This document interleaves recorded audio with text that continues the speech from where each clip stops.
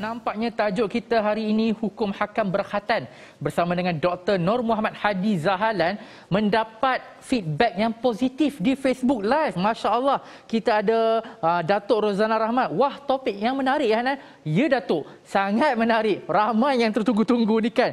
Dan juga Latifah Abu Hassan, Haji Hanan. Saya pernah pergi TV Al-Hijrah dah empat kali sebelum COVID. Masya Allah Akbar. Dah lah top fan. Empat kali pula datang TV Hijrah. Ni memang memang betul-betul penyokong TV Al-Hijrah. Terima kasih kepada semua yang menonton di kaca TV dan juga Facebook Live. Okey, kita nak bersama dengan pendakwah bebas kita, Dr. Nur Muhammad Hadi Zahlan yang berada di talian Skype sekarang. Assalamualaikum, apa Ustaz Doktor? Ha. Waalaikumsalam warahmatullahi wabarakatuh. Hanan. Ah, sihat ke Ustaz? Alhamdulillah sihat. Alhamdulillah sihat kan. Jadi Ustaz, ah, saya nak maklumkan saya memang dah berkhatan. Okey, alhamdulillah. Okey, jadi ustaz, sebelum tadi sebelum uh, kita mulakan sesi pada pagi ini sebelum saya berhenti rehat untuk iklan tadi, saya dah bacakan petikan daripada suratul Nahli ayat yang ke-1 2 3. Uh, jadi ustaz mungkin boleh tadabbur sedikit kita nak tahu apa maksud tersurat dan tersirat di sebalik ayat suratul Nahli tadi ustaz. Dipersilakan ustaz. Bismillahirrahmanirrahim. Alhamdulillahi rabbil alamin wassalatu wassalamu ala al-asyrafil anbiya'i wal mursalin wa ala alihi wa ashabihi wa man tabi'ahum bi ihsanin ila yaumiddin. Amma ba'd. Alhamdulillah, terima kasih kepada saudara Hanan, kepada semua kru TV Al-Hijrah dan tidak dilupakan uh, semua penonton uh, yang dirahmati dan diredai oleh Allah Subhanahu wa taala. Uh, Alhamdulillah, uh, pertamanya kita bersyukur kerana dengan izin, dengan rahmat, dengan limpah kurniaan daripada Allah, kita dapat bersama untuk uh, kita mendalami ilmu agama Allah Subhanahu Wa Taala.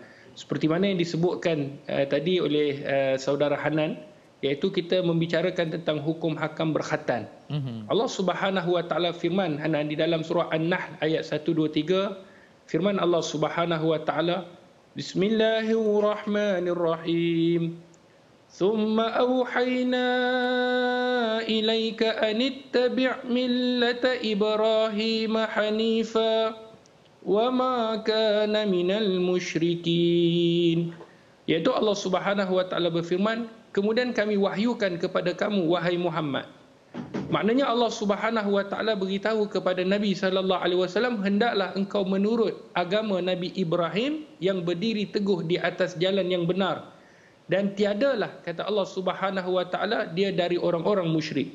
Di dalam ayat ini Allah Subhanahu Wa Taala menjelaskan bahawa sesungguhnya sebagai seorang uh, muslim kita mengikut agama yang benar yang mana berlepas daripada apa yang dilakukan oleh golongan musyrik yang tidak beriman kepada Allah dan Rasulnya. Sebab tu antara yang disebutkan uh, oleh uh, para alim ulama mengenai ayat ini adalah di, di, disebutkan iaitu masalah berkhatan. Mm-hmm. Kerana di dalam sebuah hadis Hanan di dalam hadis yang dikeluarkan oleh Imam Al-Bukhari di dalam sahihnya kata Nabi sallallahu alaihi wasallam mhm. ikhtatana Ibrahimu alaihi salam wa huwa ibnu samanin sana bil qaddum mhm. iaitu uh, Nabi Ibrahim berkhatan pada umur 80 tahun mhm. berkhatan umur 80 tahun dengan menggunakan ialah uh, seperti kapak kecil Mm-hmm. Jadi ini merupakan satu saranan yang Allah Subhanahu Wa Taala perintahkan berdasarkan ayat ini. Maka kata ulama kita perlu mengikut apa yang telah dilakukan dan dilaksanakan oleh Nabi Ibrahim alaihissalam. Mm-hmm. Sebab itu di dalam uh, hadis Nabi sallallahu alaihi wasallam yang nanti kita akan tengok bagaimana berkhatan di dalam hukum fiqh. Mm-hmm. Nah, itu yang difahami daripada apa yang disebutkan di dalam surah An-Nahl ayat 1 2 3 kita mestilah mengikut uh, ajaran yang dibawa uh, daripada nabi-nabi yang terdahulu juga iaitu tidak mensyirikkan Allah Subhanahu Wa Taala dan berlepas daripada apa yang dilakukan oleh mereka yang tidak beriman kepada Allah dan Rasulnya. Ah itu dia. Jadi ustaz, uh, saya ada ternampak satu soalan di Facebook sebab tadi ustaz bercakap berkaitan dengan uh, Nabi Ibrahim alaihissalam pun berkhatan pada umur 80 tahun. Jadi soalan daripada Rosdin Samah, menurut sejarah Islam siapakah orang pertama yang berkhatan? Adakah Nabi Adam alaihissalam atau Nabi Ibrahim alaihissalam?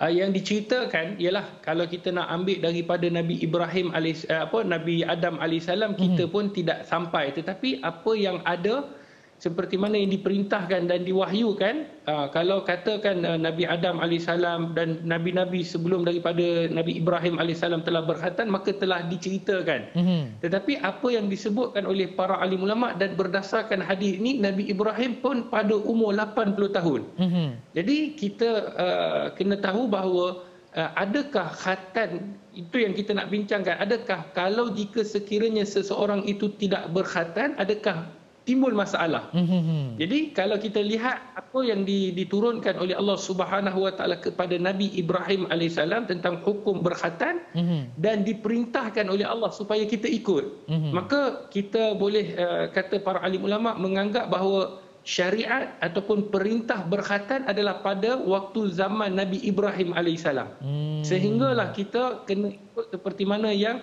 yang dibawa oleh Nabi Ibrahim AS yang diperintahkan oleh Allah kepada Nabi Ibrahim AS.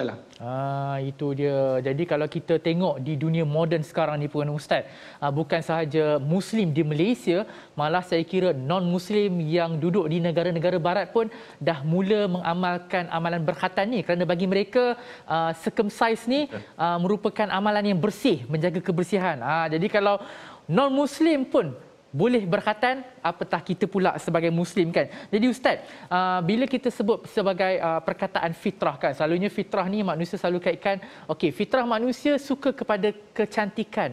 Fitrah manusia suka kepada hiburan. Tapi dalam satu hadis diriwayatkan oleh Abu Hurairah daripada Nabi sallallahu alaihi wasallam yang bermaksud fitrah itu lima perkara atau lima perkara termasuk daripada fitrah. Khatan mencukur bulu kemaluan yakni bagi lelaki ataupun perempuan, mencabut bulu ketiak, memotong kuku dan menggunting misai. Hadis riwayat Al-Bukhari. Jadi mungkin ustaz boleh jelaskan apa yang dimaksudkan dengan fitrah di dalam hadis ini dan apa hukum setiap perkara-perkara fitrah tersebut? Uh, apa yang dibacakan oleh uh, saudara Hanan tadi adalah uh, hadis yang dikeluarkan oleh Imam Al-Bukhari. Mm-hmm. Kata baginda Rasulullah khamsun minal fitrah al-khitan iaitu lima daripada fitrah. Fitrah ni adalah kita ni uh, kembali kepada asal kejadian kita bagaimana. Mm-hmm. Karena karena itu kalau kita tengok bagaimana Allah Subhanahu Wa Taala menjadikan kita dalam keadaan fitrah. Fitrah kita fitrah beragama, fitrah naluri kalau lelaki bagaimana kalau wanita bagaimana dan di antaranya tubuh badan kita juga ada fitrah yang telah dijadikan oleh Allah Subhanahu Wa Taala. Sehingga kan kata Nabi sallallahu alaihi wasallam fitrah kita ni ada lima. Yang pertama tu khitan. Kan berkhatanlah al khitan hmm. dalam bahasa Arab kalau khatan tu dalam bahasa bahasa Melayu lah ataupun hmm. sunat lah.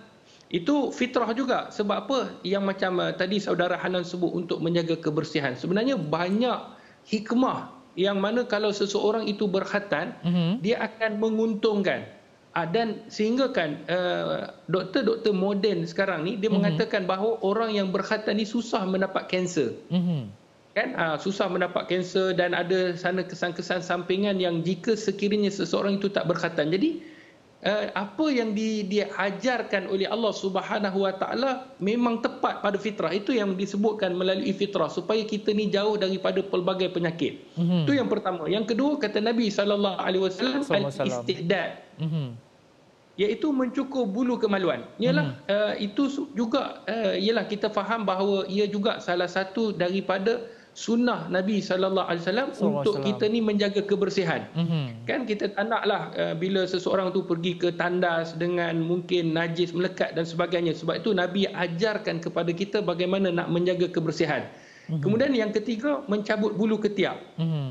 Kan sama ada uh, laki-laki ataupun perempuan bergantung. Jadi ini juga merupakan satu fitrah mm-hmm. dan uh, memotong kuku Ha, tak adalah sampai jadi mak lampir kan? Contoh kan? Buku panjang sampai tak terjaga nak makan susah. Ada ada orang yang buat uh, dia buat apa pertandingan sampai kuku dah punya lama 20 tahun tak potong. Hmm. sehingga masuk dalam book of record kan? Ha, bagaimana mereka nak tapi macam mana pergerakan mereka? Bagaimana mereka nak makan? Bagaimana ialah kita pun tahu di bawah-bawah kuku kalau kita tak jaga boleh kuman dan sebagainya. Hmm. Inilah disebutkan dalam agama fitrah agama yang mana menuntut tentang kebersihan dan, dan akhirnya kata Nabi sallallahu alaihi wasallam menipiskan misai disebabkan kita kena seperti mana yang disebutkan oleh para alim ulama mm-hmm. antara uh, uh, apa antara khitan ni juga antara sebabnya adalah untuk kita berselisih dengan golongan Yahudi dan Nasrani mm-hmm. iaitu golongan Kristian iaitu mereka ni tak bersunat jadi kita sebagai orang Islam bersunat mm-hmm. kalau uh, uh, apa agama Yahudi yang mana mereka ni me, me, apa memanjangkan misai kan jadi hmm. kita ni memendekkan misai hmm. menipiskan kumis ha, jadi itu yang disebutkan yang dijelaskan oleh Nabi sallallahu alaihi wasallam kerana kembali kepada fitrah sebab tu dalam mazhab Syafi'i ini dalam mazhab Syafi'i hukum bagi mereka yang berkhatan lelaki dan wanita adalah hukumnya wajib di sisi mazhab Imam Syafi'i berdasarkan dalil-dalil tadi. Hmm, hmm, hmm, itu dia kan. Jadi kalau macam ustaz cakap tadi kan mencabut bulu ketiak kan kalau saya tengok lelaki zaman sekarang ni dia suka pakai baju sleeveless ustaz. Ah, uh? Sleeveless and then bulu ketiak tu pula jadi lurus panjang pula tu. Allah, rasa macam geliman rasanya. Allah Akbar kan. Ah, jadi kalau boleh cabutlah bulu ketiak anda kan. Jadi ustaz, uh, setengah orang berpendapat bahawa berkhatan ataupun khitan ni hanyalah adat. Kerana apa? Sebab mereka memandang ia sebab mereka memandang ianya bukan sesuatu ibadah. Ini mungkin sebabnya mereka keliru. Dialah kita ada pelbagai pendapat dalam mazhab. Jadi ustaz, untuk tujuan menambah pengetahuan, mungkin Ustaz boleh jelaskan perbezaan tersebut. Kalau kita nak sebut tentang adat, adat apa yang dilakukan oleh Nabi Ibrahim, dia tidak termasuk dalam adat sebenarnya. Mm-hmm. Setiap uh, perkara yang dilakukan, kita kena tahu bahawa ia adalah hukum. Mm-hmm kan walaupun adat kadang-kadang adat dia ada juga melibat sebab dalam kehidupan manusia ni dia tidak terlepas daripada yang pertama akidah mm-hmm. yang kedua syariat hukum dan yang ketiga adalah akhlak kan jadi sebab itu uh, apabila disebutkan uh, bukan wajib mm-hmm. untuk berkhatan ini memang ada pandangan ulama seperti mana yang disebutkan oleh Imam Ahmad Uh, di dalam uh, hadisnya di dalam musnad Imam Ahmad ada di dalam sebuah hadis Nabi sallallahu alaihi wasallam kata baginda Rasulullah sallallahu alaihi wasallam al khitanu sunnatun mm-hmm. lirrijali makrumatun linnisa kata Nabi sallallahu alaihi wasallam bahawa khitan itu hukumnya sunnah mm-hmm. hukumnya sunnah ni Nabi sebut bagi kaum laki-laki mm-hmm. dan kemuliaan bagi kaum wanita maka wanita ni satu kemuliaan jika dia bersunat mm-hmm. adapun laki-laki ni adalah hukumnya sunnah sahaja. Mm-hmm. Maka kata para alim ulama berdasarkan pada hadis ini ramai yang faham sunnah yang disebutkan oleh Nabi adalah sunnah. Mm-hmm. Itu yang dipahami sebab Nabi kata sunnah. Mm-hmm. Sebenarnya kalau dalam uh, para alim ulama hukum fiqah sunnah yang dimaksudkan di dalam hadis adalah mustahab, adalah mm-hmm. di, harus dituntut. Maksudnya kalau boleh dilakukan. Mm-hmm. Itulah yang disebutkan oleh para alim ulama di dalam mazhab yang lain. Maknanya bukanlah sunnah-sunnah itu nak buat-buat tak nak buat tak apa. Mm-hmm. Bagi lelaki. Adapun perempuan itu adalah masalah khilaf yang nanti kita akan sebutkan. Mm-hmm. Cuma dalam mazhab Syafi'i, Imam Syafi'i mengambil ayat tadi yang mana ayat yang di dalam hadis yang dikeluarkan oleh Imam Al-Bukhari kemudian ayat surah An-Nahl tadi yang menyatakan bahawa kita kena wajib sunat ini adalah disebabkan untuk kembali kepada fitrah kebersihan itu tadi. Hmm. Adapun ulama-ulama lain menganggap ia adalah satu tuntutan juga tetapi hmm. bukanlah maknanya uh, tak perlu buat. Dia perlu buat jika sekiranya dibenarkan dan dibolehkan dan tidak ada masalah. Itu yang disebutkan bukan kerana adat hmm. Nabi Ibrahim semata-mata tetapi dia adalah hukum syarak itu hmm. sendiri. Jadi Ustaz, kalau kita tengok situasi di negara Arab kan, kalau kita ambil contoh wanita di kalangan masyarakat Arab sendiri, mereka tidak mewajibkan amalan berkhatan. Jadi mungkin Ustaz boleh jelaskan kenapa dan apa kelebihannya kepada mereka sebabnya Ustaz cakap tadi, berkhatan bagi wanita merupakan satu kemuliaan. Jadi uh, saya rasa soalan saya ini bertepatan juga dengan soalan daripada penonton di Facebook kita daripada Umi Syah Uh, apa pendapat Ustaz ibu terlupa menghatankan anak perempuan. Ibu telah meninggal dunia. Si anak pun kini dah warga emas. Jadi bagaimana? Dipersilakan Ustaz. Baik, uh, memang berlaku isu-isu uh, sebegini. Ialah uh, kadang-kadang terlupa, kadang-kadang tak cakna. Mm-hmm. Sebab dalam mazhab syafi'i, kita kena ingat, kita di Malaysia ni bermazhabkan dengan mazhab syafi'i dan meraihkan mazhab-mazhab yang lain. Tak menafikan. Jadi di dalam mazhab Syafi'i seperti mana yang disebutkan juga di dalam hadis yang dikeluarkan oleh Imamul Muslim kata Nabi sallallahu alaihi wasallam ni dalil yang mewajibkan. Mm-hmm. Kata baginda Rasulullah bagi wanita, kalau bagi lelaki kita tahu dah dalil dia. Tapi bagi wanita kata Nabi wa masal khitanu al khitan mm-hmm. faqad wajaba al ghas. Kata Nabi sallallahu alaihi wasallam apabila bertemu dua khitan. Mm-hmm. Maksudnya kemaluan lelaki dan kemaluan wanita Nabi menggunakan khitan. Jadi wa masal khitanu Maksudnya dua kemaluan antara lelaki dan wanita itu hubungan suami isteri apabila bertemu maka wajiblah mandi. Mm-hmm. Maka difahami daripada hadis ini kata para alim ulama khususnya dalam mazhab Syafi'i Nabi uh, menyebut tentang dua khitan. Maknanya mm-hmm. bukan saja laki-laki bahkan perempuan juga wajib di khitan. Uh, di khatan lah kalau mm-hmm. bahasa Melayu di khatan.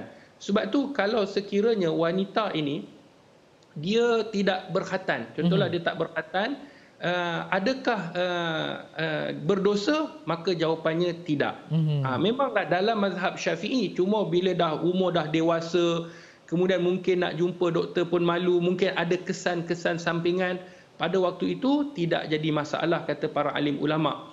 Disebabkan ialah disebabkan uh, ada kemudaratan yang berlaku. Mm-hmm. Uh, kemudaratan kemudaratan yang berlaku sebab ada juga dalam pandangan Imam Ar-Rafi'i dalam mazhab Syafi'i mengatakan bahawa uh, bahawa sesungguhnya sunat bagi wanita ini atau hmm. khatan bagi wanita ini adalah adalah uh, perkara yang sunnah. Hmm. Perkara yang maknanya kalau dia buat pun tak apa, tak buat pun tak apa. Tapi pandangan dalam mazhab Syafi'i ini kalau pandangan Imam uh, Rafi uh, yang disebut Imam Rafi'i ini maka adalah pandangan yang ganjil. Ha, hmm. pandangan yang ganjil lah. Kebanyakan ulama kata wajib sunat bagi wanita. Sebab tu bila lahirnya anak kan laki ataupun perempuan khususnya perempuan maka khatan minta kepada doktor untuk khatankan. Hmm. Adapun lelaki selepas daripada itu. Ha, tidak jadi masalah. Nanti kita akan bincangkan umur dia. Hmm. Cuma uh, apa yang disebutkan kan apa yang disebutkan uh, oleh Nabi sallallahu alaihi wasallam wanita berkhatan ni seperti mana ada hadis uh, Hanan mm-hmm. uh, oleh uh, Abu Daud sidang penonton yang dirahmati oleh Allah kata Nabi la tanhiqi fa inna zalika ahza lil mar'ah wa ahabbu ila al ba'li kata Nabi sallallahu alaihi wasallam janganlah engkau potong semua bagi wanita mm-hmm. sebab kalau wanita ni kita jangan ikut seperti mana yang orang tak reti buat orang jahil memang mm-hmm. ada kes-kes yang mereka potong semua Allah. bagi wanita jadi menyebabkan uh, ialah uh, luka menyebabkan uh, lepas itu kemudaratan tapi kata Nabi Nabi sebut sendiri jangan mm-hmm. potong semua. Mm-hmm. Jadi di Malaysia ni kalau kita tengok tidak potong semua. Mm-hmm. Dia hanya menoreskan sedikit sahaja bagi wanita. Kerana itu kata Nabi Nabi bagi tahu sebab apa kena khatan kerana mm-hmm. ia menguntungkan bagi wanita dan disukai oleh para suami. Mm-hmm. Menguntungkan bagi wanita dan uh, disukai oleh para suami sebab tu ulama menyebutkan bahawa dengan bersunat mm-hmm. dapat mengurangkan syahwat wanita mm-hmm. dia bukan mengurangkan maksudnya menganiayai tidak mm-hmm. tetapi menyeimbangkan mm-hmm. syahwat wanita itu supaya tidak terlampau gairah itu yang disebutkan di dalam kitab-kitab ketika membicarakan tentang uh, khatan bagi bagi wanita. Hmm. Jadi ustaz, bila ustaz cakap tadi berkaitan dengan umur yang untuk berkhatan kan ustaz, ada satu soalan daripada Facebook Live juga ustaz daripada Rosdin Sama. Ada riwayat yang mengatakan bahawa Rasulullah telah berkhatan sejak dilahirkan lagi. Ada pula yang mengatakan ketika baginda berusia tujuh hari. Jadi mohon pencerahan daripada ustaz yang mana satu? Baik, uh, bila di, disebutkan memang ada terdapat di dalam uh, uh, kisah-kisah yang dibawa bahawa Nabi sallallahu alaihi wasallam telah berkhatan keluar-keluar aja Nabi berkhatan. Mm-hmm. Sebenarnya ia tidak ada sandaran. Mm-hmm. Tidak ada sandaran bahawa Nabi sallallahu alaihi wasallam uh, keluar-keluar tu telah berkhatan. Mm-hmm. Uh, itu yang disebutkan oleh sebahagian daripada para alim ulama. Sebab mm-hmm. itu kata para alim ulama seperti Imam Nawawi sebenarnya berkhatan bagi lelaki ni uh, di, disebutkan di dalam uh, di dalam uh, kitab uh, dalam mazhab Imam Nawawi amal khitan dia kata uh, famata syaa ikhtatana dia kata bila nak tidak jadi masalah hmm.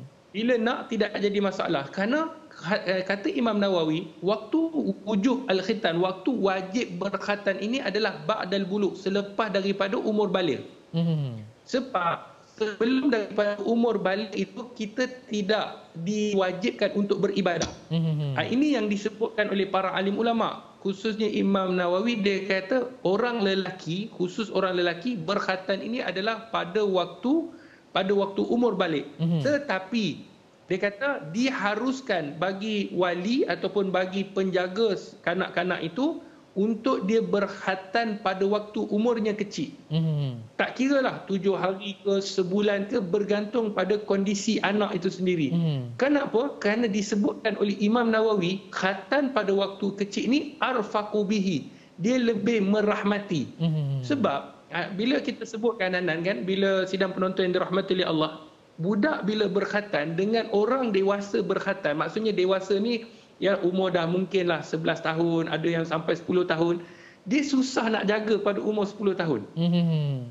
10 tahun ni susah nak jaga, dia suka melompat, kejap lagi dia nak makan benda-benda yang uh, yang boleh menyebabkan uh, yalah yang boleh menyebabkan uh, masalah-masalah lain berlaku gatal dan sebagainya. Mm-hmm. Jadi kalau kanak-kanak ataupun kalau budak baby lah kita katakan sebulan tak semestinya tujuh hari. Mm-hmm. kan? tak semestinya tujuh hari. Tengok pada kondisi. Sebab kalau uh, anak itu tak ada masalah maka lebih daripada tu pun tak apa. Sebab tujuh hari ni kita kadang-kadang kita nak buat cukur kita nak bagi nama kita nak buat proses nama dan sebagainya. Mm-hmm. jadi selepas daripada itu kata ulama tidak jadi masalah. Maknanya nak berkhatan itu kalau waktu kecil itu lebih lebih orang kata merahmati. Mm-hmm. kerana dia tak dia tak rasa sakit sangat. Dia tak ingat pun. Mm-hmm. dia tak ingat pun apa yang berlaku. Waktu uh, waktu zaman kecil dia. Mm-hmm. kan macam kita kan Hanan kan? Mm-hmm. ingat tak waktu umur kita uh, uh, apa uh, 3 bulan 4 bulan? Tak ingat. Memang tak ingat saya jadi kita pun tak tahu tentang Ah sakit ataupun tidak. Mm-hmm. Cuma kata ulama kalau nak khatan juga kalau katakan tak nak buat pada waktu kecil kerana kesian kan kita mm. kata kesian maka waktu yang sesuai adalah selepas daripada buluh. Mm. Maksudnya waktu lepas balik maka pada waktu itu wajib dia berkhatan. Mm. Adapun sebelum daripada tu maka hukumnya adalah uh, orang kata merahmati saja. Ah. itu yang disebutkan oleh Imam Nawawi dalam kitabnya. Ha, itu dia kan. Jadi jangan jadi macam saya pula kan Ustaz. Ha, waktu saya nak berkhatan tu doktor kata, eh dah buta ni. Saya pun terus blur. Apa ini maksudkan dengan buta? Masya Allah. Jadi Ustaz, kita nak berhenti rehat seketika. Banyak lagi yang kita nak bincangkan dan banyak juga soalan di Facebook Live insya Allah. Jadi penonton jangan ke mana-mana. Stay tune dengan TV Al-Jirah. Kita akan kembali lagi selepas ni dengan tajuk Hukum Hakam Berkhatan. Alhamdulillah kembali dalam Assalamualaikum My Care COVID-19 Kami peduli anda kita masih lagi membicarakan berkaitan dengan hukum hakam berkhatan Dan saya juga nak meraihkan penonton di Facebook Live Nur Hayati Ibrahim Assalamualaikum dari Singapura. Masya Allah, saya doakan semoga semua warga Singapura berada dalam keadaan yang sihat dan sentiasa dalam rahmat Allah. Terima kasih kerana sentiasa menyokong TV Al-Ijrah. Okey, kita nak bersama kembali dengan Dr. Nur Hadi untuk membicarakan berhal berkaitan dengan hukum hakam berkatan ni. Okey, Ustaz. Uh, seorang Melayu ni kan dia selalu sangat suka perkataan afdal tu. Kan? Ah, afdal buat ini, afdal buat itu, afdal buat macam ni, afdal buat macam tu. Ah, jadi bila dalam ah, berkhatan ataupun sunat ni kan ah, apa ah, bersunat ni kan juga ustaz. Orang Melayu pun memang suka ada perkataan afdal. Ah, afdal buat waktu pagi, tak boleh buat waktu petang dan malam. Betul ke tak ustaz? Ah, mungkin ustaz boleh jelaskan sikit. Baik, uh kadang-kadang ialah uh, sesuatu benda yang tidak ada rujukan susah juga kita nak hmm. cakap kan ada orang uh, dia kata inilah waktu yang paling baik inilah hmm. waktu paling sesuai kadang-kadang seseorang itu mereka itu yang pertama mereka kerana dia nak bagi tahu bahawa dia juga mengetahui sesuatu kan kata kalau uh, sunat pada waktu pagi lebih baik daripada pada waktu petang cuma hmm. kemungkinan orang lama-lama orang dulu-dulu kan ialah dengan menggunakan lampu bukanlah lampu seperti lampu kita sekarang mm-hmm. mungkin pada waktu uh, orang kata malam ataupun pada waktu petang ni kurang nampak mungkinlah mungkin sebegitu kita anggap ia sebagai satu orang kata satu keadaan yang mungkin bukan tidak pada waktu kita sekarang mm-hmm. kan mungkin kalau waktu malam uh, sekiranya berlaku ialah uh, lampu tak ada dan sebagainya terpotong habis ni contoh mm-hmm. kan jadi itu yang dia kata lebih baik siang ke kerana siang tak ada lampu pun kita nampak. Mm-hmm. Jadi itu mungkin daripada sudut pandang orang-orang lama. Mm-hmm. Tapi adakah ia uh, ada sandaran daripada hadis Nabi ataupun sandaran daripada Al-Quran? Maka jawapannya tidak ada Hanan. Mm-hmm. Kan sidang penonton yang dirahmati Allah, kalau pergi ke klinik, mana hospital ke, klinik ke, kalau doktor kata inilah kita punya temu janji, maka ikut je lah. Mm-hmm. Kan kalau temu janji tu pagi, pagi. Kalau petang, petang. Kan jangan pula kita kata, oh tak boleh petang, saya nak pagi saja. Ha, kan? Jadi tidak jadi masalah sama ada pagi ke, petang ke, malam ke, yang penting adalah berkhatan itu sendiri kerana tidak ada disebutkan di dalam mana-mana kitab ataupun mana-mana hadis mengenai tentang waktu yang sesuai untuk berkhatan. Hmm. Itu jawapannya. Ha, itu dia jawapannya. Jadi jangan pula lepas ni ada penonton-penonton kan bila nak khatan anak tu, eh doktor tak boleh nak buat waktu pagi kena buat malam. Malam pula kena tunggu bulan terang, tak boleh bulan malam.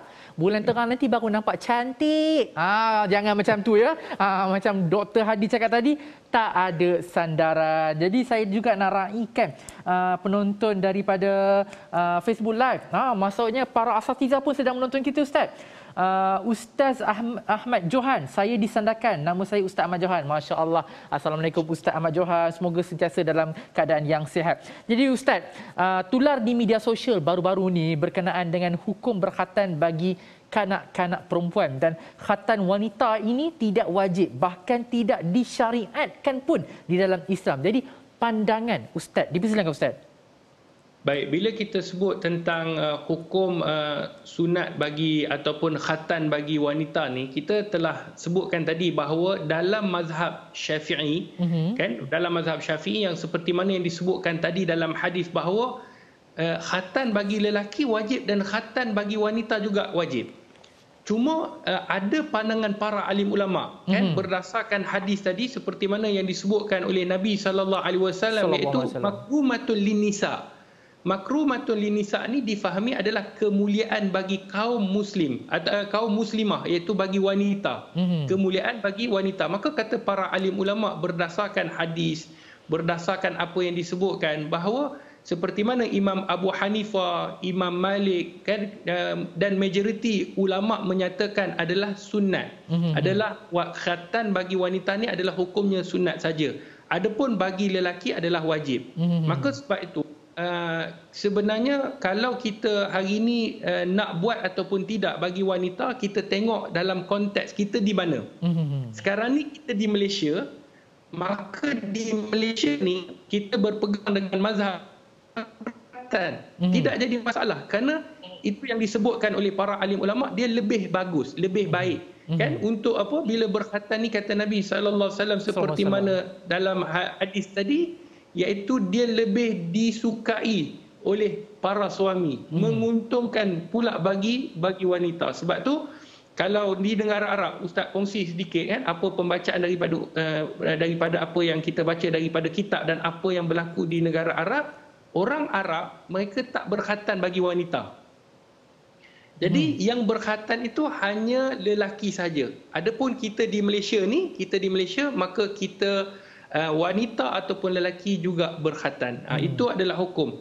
daripada mazhab Imam Syafi'i. Ah itu dia. Jadi ada juga daripada Rosdin sama orang dulu-dulu kata tak boleh berkhatan ketika air sedang pasang akan berlaku banyak tumpahan darah kat budak tu nanti. Ah bukan apa sebabnya yang duduk dekat pantai tu bahaya. Air tengah pasang, tengah-tengah berkatan air naik masuk rumah. Ah itu je bahaya kan. Ah jadi itu dia antara orang dulu lah kan. Okey jadi ustaz, bila kita sebut pasal hukum hakam berkhatan ni kan, sekiranya uh, anak yang kita mungkin kita ada anak kan ataupun uh, anak Zara yang duduk dengan kita dan mereka dah sampai umur balik dan kita pun dah buat appointment temu janji dengan doktor untuk berkhatan kan. Tiba-tiba dapat pula doktor tu non-muslim ataupun bukan Islam. Macam mana ustaz? Boleh ke tak boleh ke? Ha. Ha, dia memang satu satu benda fiqah yang dibincangkan oleh para alim ulama ni ni satu bagus satu saranan ataupun satu soalan yang bagus supaya kita faham. Mm-hmm. Kadang-kadang bukan saja uh, sunat tetapi apa sahaja yang berkaitan dengan aurat. Mm-hmm. Sebab dalam Islam ni aurat ni sangat penting.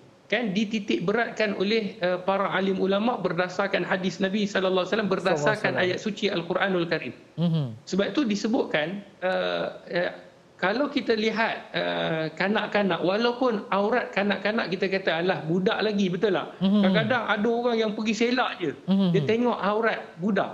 Jadi kita kena tahu walaupun kanak-kanak ia tetap aurat. Hmm. Walaupun kanak-kanak ia tetap aurat. Sebab tu pendapat yang muktamad dalam mazhab Syafi'i dalam mazhab Syafi'i mengatakan bahawa kemaluan kanak-kanak lelaki seperti juga kemaluannya pada kanak-kanak perempuan sama auratnya. Mm-hmm. Jadi sebab itu diharamkan untuk dilihat tanpa ada sebab. Mm-hmm. Kan tiba-tiba kita saja kan tengok anak saudara kan uh, kita panggil dia mungkin umur yang belum balik, mungkin umur uh, 7 tahun, 6 tahun kan. Kita panggil-panggil kita nak tengok aurat dia, tak dibenarkan dalam syarak. Mm-hmm. Yang melainkan ibunya sahaja ketika waktu menyusu sehinggalah waktu dia boleh tarbiyah ataupun dia boleh berdikari. Mm-hmm itu yang disebutkan oleh ulama ibunya saja ketika menyusu ialah kalau nak tukar pamper nak tukar lampin dan sebagainya nak letak ubat itu saja dibenarkan mm-hmm. lain tidak dibenarkan saja walaupun kita mak bapak kita mm-hmm. nak tengok aurat anak tak dibenarkan mm-hmm. sebab tu bila kita sebut itu sesama muslim mm-hmm. jika sekiranya non muslim maka kata para alim ulama iaitu kita kena buat apa yang pertama kena cari kalau uh, anak lelaki mm-hmm. caranya adalah dengan mencari doktor lelaki dahulu mm-hmm. yang muslim kalau tidak ada doktor lelaki muslim maka baru pergi kepada doktor lelaki yang non muslim mm-hmm. Kalau sekiranya tidak ada, barulah doktor wanita yang Muslim. Mm-hmm. Yang Muslimah. Kemudian kalau tidak ada, barulah doktor wanita yang non-Muslim. Mm-hmm. Adapun wanita pula, kan? Kalau wanita, sebaliknya. Mm-hmm. Dia kena cari yang pertama, doktor wanita yang Muslimah dahulu. Mm-hmm. Kemudian kalau tak ada, barulah dia pergi kepada wanita juga non-Muslim. Kalau tidak ada, barulah doktor lelaki yang Muslim dan yang terakhir barulah doktor lelaki yang non-Muslim. Itu hmm. cara turutan yang disebutkan oleh para alim ulama. Disebabkan hmm. kita jangan senang-senang. Aa, ah, boleh pilih ada ada ada kudrat ataupun ada kemampuan untuk memilih tiba-tiba kita ah, tak apa tak kisah. Hmm. Sebenarnya tak kisah itu adalah kita tak kisah pada hukum. Hmm. Bukan tak kisah pada keadaan kan? Kita mungkin kita ah, boleh je mana-mana. Janji kita kan selalu janji sunat. Hmm. kan? Janji buat. Dia bukan masalah janji. Janji kita kena ikut hukum Allah. Hmm. sebab tu itulah keadaan dia. Kalau sekiranya lelaki cari yang lelaki dulu. Kalau perempuan barulah cari perempuan. Jika sekiranya tidak ada macam soalan tadi kalau ustaz tak ada pun doktor yang uh, wanita yang muslimah untuk sunat maka ada yang yang uh, non muslim maka tidak jadi masalah pada ketika itu kerana dah tidak ada pilihan. Ah itu dia. Jadi kepada ibu bapa di luar sana kalau nak uh, buat appointment khatan anak tu kalau boleh tanya dulu kan. Kalau anak lelaki uh, cari dulu doktor muslim lelaki ataupun doktor uh, lelaki yang bukan muslim ikut urutan. Uh, jangan kata-kata pula kan anak tu pula request kan. Uh, ayah saya nak apa doktor perempuan uh, kan. Jangan diikutkan kehendak uh, anak tu. Uh, kalau ayah boleh kita ikut. Okay, ayah pun setuju. Ha, ayah pun setuju. Ayah pun nak mengoret pula kan. Uh, jangan. Jangan bahaya. Okey ustaz. Uh, kita nak berbicara pasal hukum uh, berkhatan lagi kan. Jadi bagi uh, hukum berkhatan bagi mereka yang baru memeluk Islam dan sekiranya usianya sudah tua adakah diwajibkan juga? Sebab tadi ustaz pun ada sebut Nabi Ibrahim alaihissalam pun berkhitan pada umur 80 tahun. Dan ini bertepatan dengan satu soalan di Facebook daripada uh, Datuk Rozana Rahmat. Ustaz macam mana pula orang yang baru masuk Islam dalam usia dewasa sekiranya dia tidak mahu berkhatan adakah ini menjadi satu dosa? Silakan Ustaz. Baik, uh, terima kasih kepada uh, yang bertanya kepada semua uh, sidang penonton yang dirahmati oleh Allah. Kita kadang-kadang kita menakut-nakutkan orang dengan sunat. Hmm. kan dengan berkhatan. Kadang-kadang ada yang sahabat-sahabat non-muslim kita yang nak masuk, ah kalau nak masuk Islam kena khatan dulu. Hmm. Kan dah khatan ke belum? Kita tanya sehingga kan menyebabkan kata ulama menyebabkan mereka jauh daripada Islam sebab Betul. takut berkhatan. Betul. Dan mereka ingat khatan ni potong habis. Jadi mereka menyebabkan mereka tak nak kepada Islam. Jadi hmm. kata para alim ulama, tidak boleh kita menakutkan dan jika sekiranya seseorang itu takut untuk berkhatan maka boleh ditangguhkan hmm. boleh ditangguhkan disebabkan kalau kita tengok kemudaratan tidak berkhatan dengan hmm. kemudaratan dia tidak Islam kemudaratan keburukan dia tidak Islam masuk Islam tu lebih besar. Mm-hmm. Sebab masuk Islam tu satu benda yang sangat besar. Adalah hidayah Allah Subhanahu Wa Taala yang perlu kita kita berikan kepada mereka yang bukan Islam kerana dapat menyelamatkan di dunia dan juga akhirat. Adapun berkhatan kata ulama jika sekiranya seseorang itu macam contohnya dia dah mungkin umurnya lanjut ataupun mungkin uh, uh, menyebabkan kalau dia berkhatan uh, ada uh, ialah doktor sebut kalau kamu berkhatan mungkin pendarahan mungkin akan ada masalah-masalah yang berlaku Allah Subhanahu Wa Taala dah sebut dah di dalam uh, ayat Al-Quran dalam surah Al-Baqarah ayat 286 mm-hmm. la yukallifullahu nafsan illa wus'aha. Allah tidak memberati seseorang melainkan apa yang terdaya baginya Maka di dalam uh, hukum kalau sekiranya seseorang itu yang masuk Islam awal-awal dia tidak mahu berkhatan tidak jadi masalah. Mm-hmm. Kata ulama yang pentingnya adalah dia membersihkan iaitu kulit hadapan. Maksudnya dia pastikan dia tidak uh, duduk dalam keadaan najis ketika mana dia nak solat, ketika mana dia nak beribadah. Mm-hmm. Itu cara dia. Mm-hmm. Adapun kita menakutkan menyebabkan dia tak ada masuk Islam adalah satu kerugian dan adalah satu kejahilan yang sangat besar. Mm-hmm. Dan bagi mereka yang mungkin mudarat, kalau dia berkhatan mudarat pula. Mm-hmm. Ustaz, kalau saya berkhatan doktor kata habis tak boleh pendarahan dan sebagainya. Pada waktu itu terlepas hukum. Mm-hmm. Tidak jadi masalah kerana hukum ni kita kena ingat orang yang tak boleh solat berdiri kerana sakit dia boleh dia boleh duduk. Mm-hmm. Kalau dia tak boleh duduk dia boleh dia boleh baring. Kalau tak boleh menggunakan pergerakan, dia boleh menggunakan pergerakan mata. Sehingga kan, kata ulama, boleh menggunakan hati. Itu kaedah. Maksudnya, jika sekiranya ada kesulitan, maka pergi ke ke arah ataupun hukum yang lebih ringan. Mm-hmm. Sebab dalam hukum sunat juga begitu. Bukan kata siapa yang tak bersunat maka dia boleh eh, dikatakanlah dia memang tak boleh bersunat. Kita kata dia tak bersunat maka hukumnya berdosa masuk neraka. Mm-hmm. Ini satu satu benda yang tidak diterima dalam hukum syarak kerana Islam itu mudah. Hmm. Jangan kita payah-payahkan dan menakut-nakutkan orang tetapi kita bagilah semangat dan galakkan sebab apa dia perlu kena bersunat adalah disebabkan kebaikan-kebaikan yang hari ini medical sendiri telah mengesahkan mm-hmm. orang yang bersunat lebih baik daripada yang tidak bersunat. Hmm, itu dia kan. Jadi janganlah pula kita nak takut-takutkan kalau mungkin kita tahu dalam kejiranan kawasan kita kejiranan kita tu ada pula mungkin uh, China, India yang berminat untuk masuk Islam. Janganlah pula oh nanti dah syahadah kasih potong. kan? Jangan takut-takut kan. Begitu juga dengan anak-anak kita, anak-anak saudara kita. Kalau kita tahu uh, mereka nak uh, ada nak buat sunat kan ataupun nak berkhatan kan. Janganlah kita kata takut-takutkan pula. Oh, nanti doktor keluarkan sabit lah. Parang lah macam-macam kan. Jangan takut-takutkan. Dan, dan, dan Hanan, satu Aha. lagi. Kadang-kadang kita tak menakutkan. Kadang-kadang kita buat benda yang tak logik. Alah, macam gigit semut. Ah, ya, ya, ya. ya. semut ah. kan. Dia sebenarnya kata tak perlulah kita nak kata gigit nanti nampak sangat menipu. Betul betul. Cuba yang dah bersunat suruh sunat kalau macam gigit semut suruh sunat sekali lagi. Tak nak dia. Jadi sebab tu kalau sakit contohlah kata-kata tak adalah sakit sangat kan uh, kuat dan sebagainya itu lebih lebih bagus. Betul. Macam okay, Ustaz, kita pun dah tak cukup masa ni mungkin Ustaz ada kesimpulan ataupun kata-kata akhir uh, untuk penonton yang sedang melihat uh, perbincangan kita berkaitan dengan hukum haram berkhatan ni Ustaz.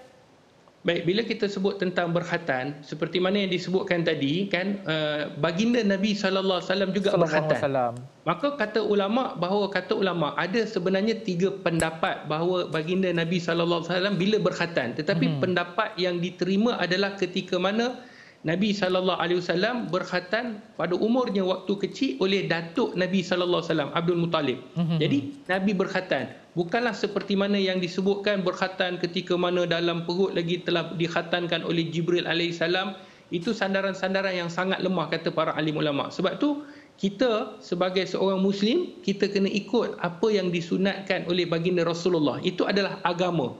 Kerana kita kena faham agama menyuruh sesuatu perkara adalah untuk kebaikan mm-hmm. dan untuk menolak kemudaratan. Jadi kalau hari ini kalau kita tengok dalam banyak uh, statement daripada uh, para doktor menyatakan berkhatan ini lebih baik bagi lelaki dan juga wanita. Jadi hmm. oleh demikian kita sarankanlah kepada anak kita kalau anak kita kita tahu takut untuk berkhatan uh, ketika umur 10 11 boleh tidak jadi masalah seperti baru-baru ni ada seorang pelakon khatankan anak dia ketika umur dia masih kecil lagi. Jadi itu saranan yang baik kerana kita ada kepakaran-kepakaran dan doktor boleh boleh menyatakan boleh ataupun tidak berdasarkan ilmu pengetahuan doktor. Jadi apa yang kita dapat ikutlah sunnah baginda Rasulullah sallallahu alaihi wasallam kerana dia kembali kepada kepada fitrah. Hmm, itu dia.